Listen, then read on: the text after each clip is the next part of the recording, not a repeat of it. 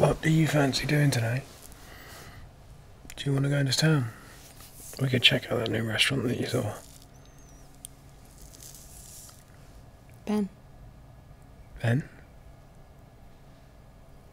last night you asked me if I'd ever been in love before.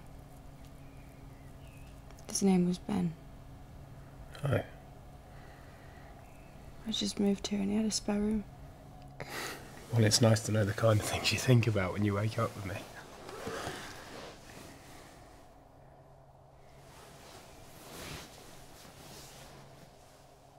I love waking up with you.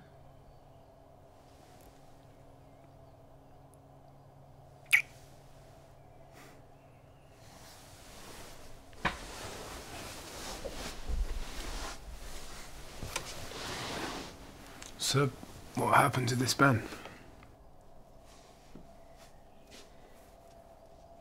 Started dating after about a month and things got pretty serious pretty quickly. And what happened?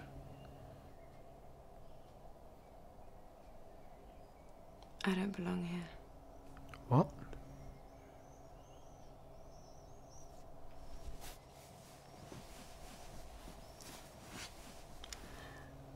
What happened was it ended badly. Do you know why it ended badly? Because he didn't know what he wanted.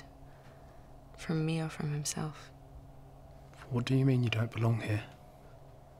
I know what I want. From you and from me. So do I. I know what I want. What do you want? I want you.